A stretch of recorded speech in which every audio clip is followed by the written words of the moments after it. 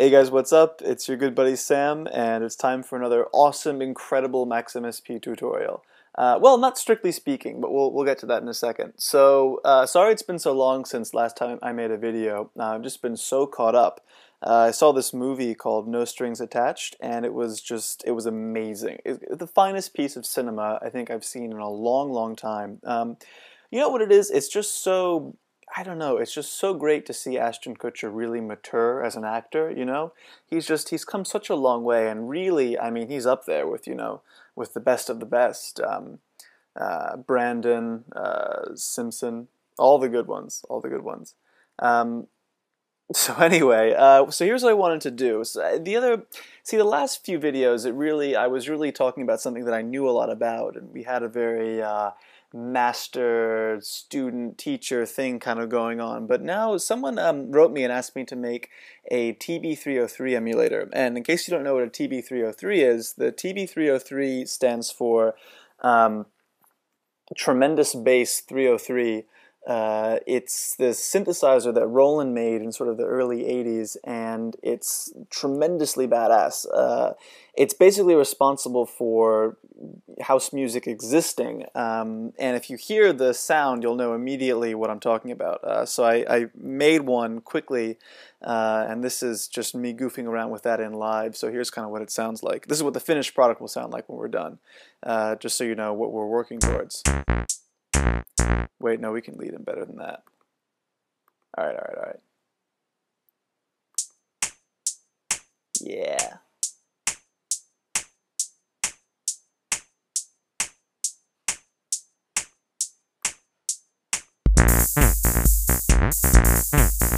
So that's like, um, that bass sound.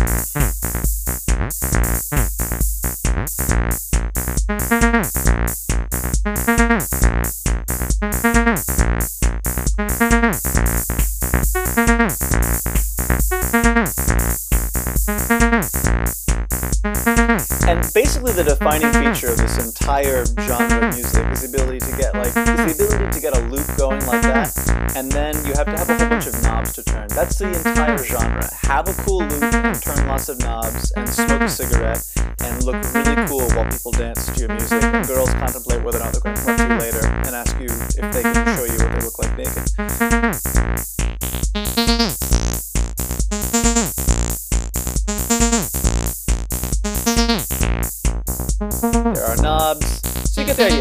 That's what we're going for. There's the TB303 and all its awesomeness, and we're going to try to do that. So, like I said in the past videos, it was all I know stuff and you don't. Here's how you do it. Um, here, I think it's going to be much more like let's build it together because I kind of don't know what I'm doing. And uh, if you see something that makes you upset, you know, tell me and we'll we'll work on it. We'll work on it together. You know, this is our this is going to be like it's going to be like the view meets electronic music. You know, that's what I'm going for right here. Um, which would be a cool show. I'd watch that. I'd watch that a lot. Anyway, so um, whenever I get started on a big sort of project, how are we doing on time?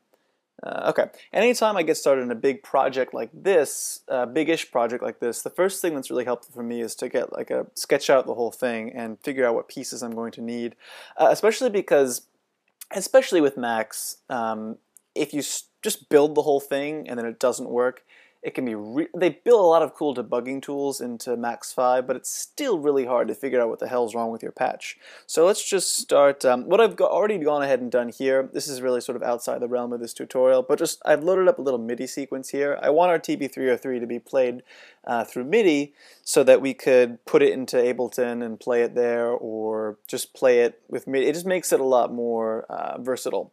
So anyway, this is just a quick MIDI sequence, and it just sounds like this.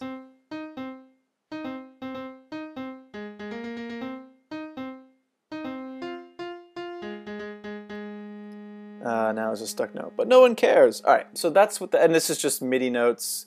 Uh, seq loaded a MIDI file, going through MIDI parse and going to no, no, no one cares. Simple stuff. Anyway, so um, to get started, we're just going to make a skeleton of our TB303 out of comment boxes and fill it in. I think that's the way to go. So we start with MIDI in up top, and at the bottom we've got sound out. Right? Simple enough. Um, and I will just fill in all the pieces in the middle. So the way the TB303 works is there really three basic parts. um, this is abstracting away all the actual physical stuff, you know, the keys and how you program it and all that stuff. Because I, frankly, I really don't care. And I've seen videos of programming the TB303, and it sucks. It's a stupid, tedious, pointless, backwards, badly engineered. I, I said it. I said it. I mean, do what you want. I don't like it. I think it's not well put together. Um, in terms of the interface, it sounds cool. Uh, anyway, so we're going to just forget about that and just try to get the sound. And the sound component basically has three parts. You've got the sound generator part that makes a sawtooth wave or a square wave. Uh, you've got the filter, and you've got the envelope generator, and that's it. So we're going to go ahead and fill those parts in. We've got our sawtooth slash square wave. Uh, I wrote rect because the max object is called rect. Um, the envelope, and the filter. And I'm going to put filter below because filter comes naturally after you've generated the sound and because the envelope is controlled by the filter. So now, what is the MIDI controlling? Well, the MIDI is controlling which notes get played, um, but also the characteristics of the TB303, um, one of them is that you can apply to each note one of four um, styles, I guess, one of four traits, uh, which you can either you can have an accent, so you accent the note, make it punchier. You have an up, so the note has a trail up, so it goes like, or you could have a trail down, so it goes like, or you could have uh, legato, so that when you play one note and then play the next note, uh, there's a transition from you get a frequency sweep from one to the other. So you heard that before. That's what this you hear that here when it goes, that's the frequency sweep. Um, so we want to figure out how we're going to play each of those, and what I think is a sim nice simple way to do it uh, is when you have one note and the next note comes before the first note has finished playing, before you get the note off for the first note, you get a legato from one to the other. A lot of um, a lot of sequencers do it that way, and I like that. That makes sense. So we're going to do that. Um, and so I'm just going to write it here. Uh, should we legato? So what I mean by that is we're going to need a bit of max whatever architecture here to figure out whether or not we uh, legato from one note to the next. And I'm writing frequency picker here because that's going to feed into the frequency picker that then controls the saw. So MIDI comes in.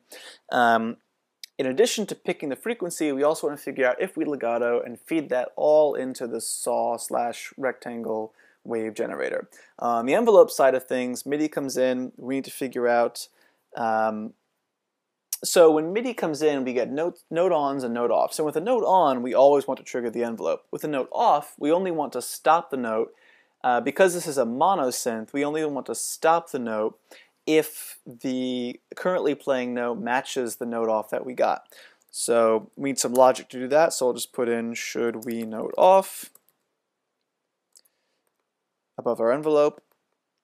And let's see, it looks pretty good. Um, So after we get the envelope, another, and as for the the um, up and down traits that you could throw onto your notes, uh, for now we're going to ignore that. Let's just move on with our lives, and we'll come back to that later. Um, so uh, the other thing about the uh, TB303 is that there's some envelope modulation, and what that is is that the uh, envelope of the sound can affect the filter. So what we need to do is have one other little piece of logic here. So um, how much or how does envelope affect filter? It is amazingly difficult to both plan this out and talk about it at the same time. I completely underestimated how hard this is. I, my small ape brain is having a really hard time with this. All right, so MIDI in should be legato. Frequency picker, sawtooth feeds into the filter. Uh, the envelope also feeds into the filter, and we decide in what way here. Uh, and up here we also need a little piece to decide if we note off. And finally we multiply uh, envelope multiply the filter by the envelope, and what comes out is the sound. Um, and that's it. That's the entire TB303 right there. And now we're just going to build these little pieces one at a time and put them all together. And we're out of time. So um, I don't know if this video is even worth watching, but um, uh, I can say that now because it's over. But um, yeah, stay tuned. i will try to do one of these every day or so, and we'll build this little thing up one piece at a time, and in the end, um, it'll work. And if you want um, just download the last video and get the patch and skip this entire process. Um, but yeah, anyway, uh, thanks for watching if you watched, and have a good one, guys. Take it easy.